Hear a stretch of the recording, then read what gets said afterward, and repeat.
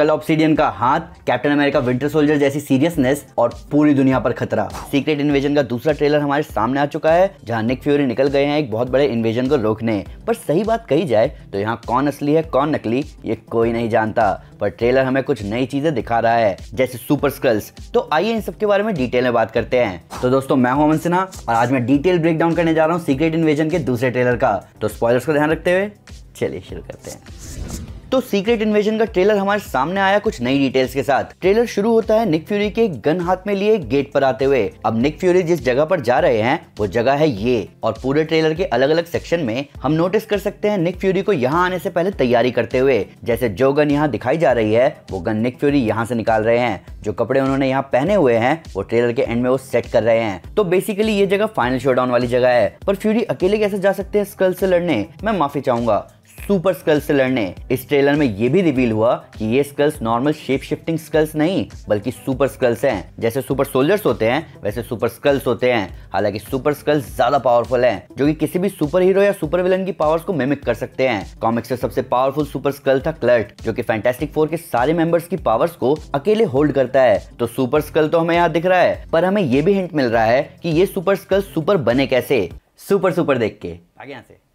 तो ट्रेलर के एक पॉइंट पर हम देख सकते हैं इस डिपार्टमेंट ऑफ़ डैमेज कंट्रोल के बॉक्स को, जिस पर लिखा है कल। कुछ फैंस का मानना है कि ये कल नाम है, कल ऑब्सीडियन का।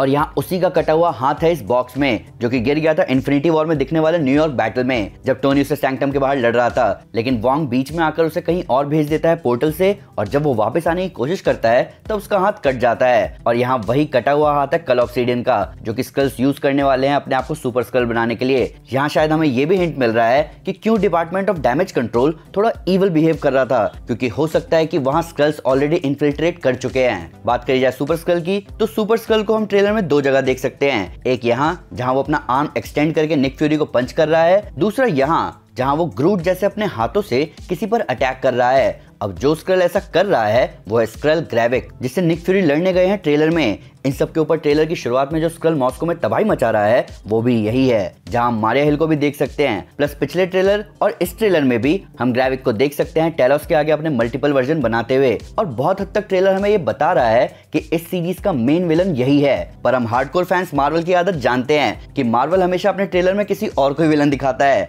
इवन कैप्टन मार्वल मूवी के प्रमोशन के टाइम सबको लग रहा था कि टेलोस विलन है। वापस आए निक फ्यूरी पर तो जहाँ पिछले ट्रेलर में हमें लग रहा था कि हमें दो वर्जन दिखे निक फ्यूरी के वही हमें इस ट्रेलर से क्लियर हो रहा है कि ये दो वर्जन नहीं, बल्कि एक ही निक फ्यूरी है, जिसके दो लुक हैं। एक बॉल्ड आई पैच के साथ, दूसरा कैप और बिना आई पैच के। इन सब के ऊपर अजीब बात यहाँ ये हुई कि जो ग्रेवस्टोन हमें यहाँ ट्रेलर में दिख रहा है, वो अलग है कैप्टन अमेरिका विंटर सोल्जर में दिखने वाले ग्रेवस्टोन से। ये बहुत अजीब बात है, खासकर इस फैक्ट के साथ कि मार्वल प्रॉप एरर बहुत मुश्किल ही करता है। तो ऐसा कैसे?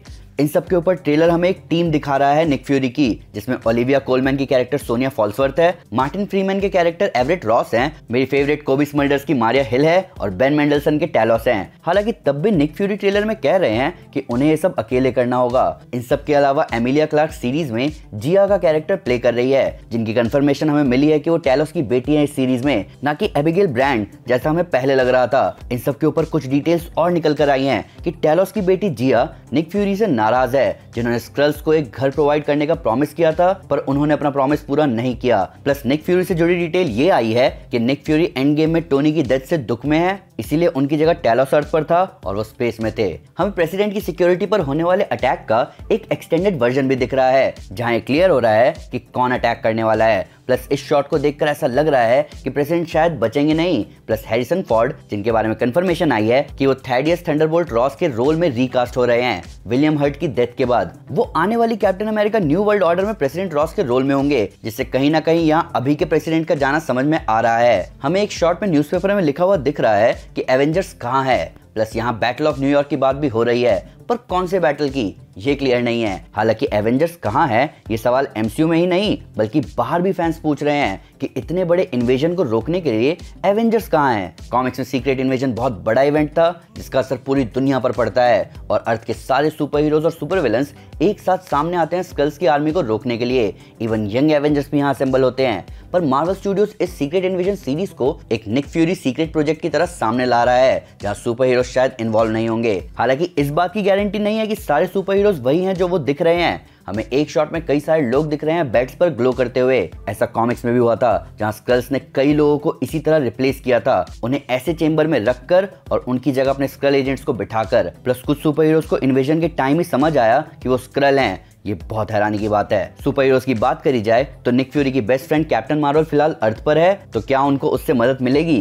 वापस आए ट्रेलर पर तो रोडी एक शॉट में निक फ्यूरी से कह रहा है कि निक फ्यूरी फ़िलहाल मोस्ट वांटेड मैन है पूरे अर्थ पर। अब ऐसा किस सेंस में कहा जा रहा है? ज़रूरत के सेंस में? या उनको पकड़ने के लिए? मोस्ट प्रोबेबली पकड़ने के लिए ही, क्योंकि एक शॉट में हम कुछ एजेंट्स को निक फ्यूरी की तरफ़ गन एम करते हुए देख सकते हैं। हालाँकि हमारा असली ध्यान खींचा इस जगह ने। ये रूम इस जगह है, जहाँ निक फ्यूरी पूरे ट्रेलर में रेडी होकर जा रहे हैं। प्लस इसी रूम में उनकी और ग्रेविक की फाइट हो रही है। हालाँकि हमारा असली ध्यान खींच रहा है ये टेक जो की थोड़ा पुराने जमाने वाली वाइब भी दे रहा है। आगे एक शॉट में हम दो लोगों को भागते हुए देख सकते हैं। अब ये दो लोग कौन है? ये क्लियर नहीं है। इनमें से एक ग्रेविक तो लग रहा है, पर दूसरा कोई स्ट्रीट लेवल सुपर हीरो हो सकता है। इन सब के ऊपर हमें बेन मेंडलसन के कैरेक्टर टैलोस का फ्यूचर अच्छा नहीं दिख रहा। पर हम आगे टैलोस की बेटी के साथ किसी जानी पहचानी कैरेक्टर को देख सकते हैं। क्या ये मोनिका रैम्बो है? हालाँकि उनके इस सीरीज़ में दिखने का सेंस तो बनता है, पर ज़्यादा चांसेस ये है कि ये कार्मेन एजोगो हैं, जिन्हें कास्ट किया गया है अनडिस्क्लोज रोल में। इन सब के साथ साथ मारो स्टूडियोज हमेशा की तरह एक और ज़बरदस्त टीजर पोस्टर हमारे लिए लेकर आया है, जहाँ दो पेपर आपस में क्रिस क्रॉस स्टाइल में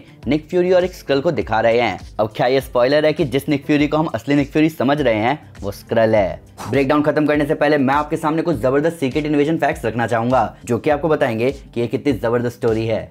कॉमिक्स की सीक्रेट इन्वेजन स्टोरी लाइन में इतने कैरेक्टर फीचर हुए हैं कि अगर उसको लाइव एक्शन बनाया जाता तो मार्वल को एंड गेम से भी ज़्यादा पैसे लगाने पड़ते। कॉमिक्स में स्पाइडर वुमैन की जगह लेती है स्क्रल लीडर जो कि ह्यूमन टोनी स्टार को ऑलमोस्ट भरोसा दिला देती है कि वो भी स्क्रल है। हालाँकि स्क्रल का माइंड कंट्रोल टेक इतना ज़बरदस्त था कि कैप्टन मार्वल स्क्रल होते हुए भी कैप्टन मार्वल की सोच से नहीं हट पा रहे थे। कॉमिक्स में इन्वेजन इतना खतरनाक था कि द पीक और शील्ड हेलीकैरियर पूरी तरह डिसेबल हो गए। द राफ्ट के सारे सेल अपने आप खुल गए। फैंटेस्टिक फोर का हेडक्वार्टर और घर बैक्सटर बिल्डिंग नेगेटिव जोन में चला गया और थंडरबोल्ट माउंटेन पर भी अटैक हो गया। फाइनल फाइट में स्क्रल्स ने वॉस्ट जेनेट वेन डाइन को एक बायोलॉजिकल वेपन बना दिया, जिसकी वजह से पूरी दुनिया के लोग खतरे में आ गए, लेकिन उसको रोकने के लिए थॉर को वॉस्प को जान से मारना पड़ा। इसी स्टोरी के एंड में स्क्रल लीडर को खत्म करता है नॉर्मन ऑसबॉन्ड जिसे इसके बाद हीरो की तरह लोग देखने लगते हैं और उसे शील्ड का डायरेक्टर बना दिया जाता है, जिसके बाद डार्क रेंज स्टोरी लाइन शुरू होती है। ऐसा माना जा रहा है कि यहाँ इस सीरीज़ में भी थंडरबोल्ट रॉस ऐसा करेगा और इसीलिए उसे प्रेसिडेंट बनाया जाएगा।